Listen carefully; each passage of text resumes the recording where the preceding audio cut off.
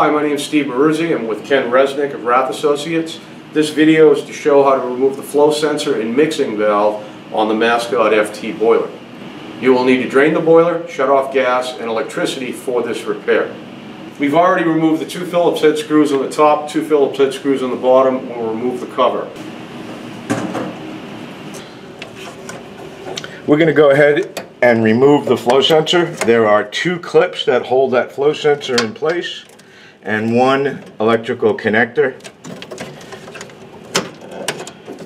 Remove those clips by taking your fingers and pulling straight to you. Those clips do not have any specific orientation. They can go back in any way.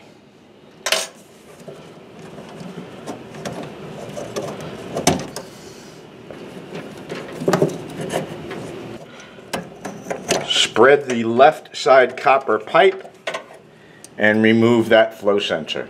The flow sensor is made up of two components, the body of the flow sensor itself and the electromagnet on that flow sensor, which is removable. Push down on that locking tab from the bottom and push that magnet straight out to you. Removal of the domestic mixing valve requires removal of two clips. One clip is there and the other clip is here. Removal of the clip on the right side. Removal of the back clip.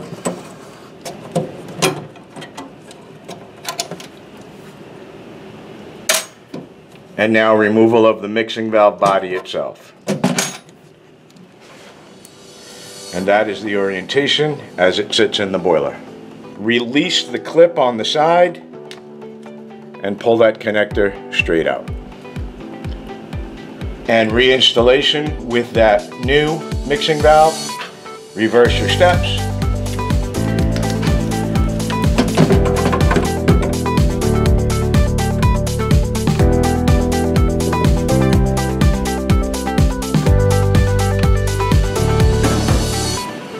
If you have any technical questions, please contact product support at 1-800-900 9276. Thank you.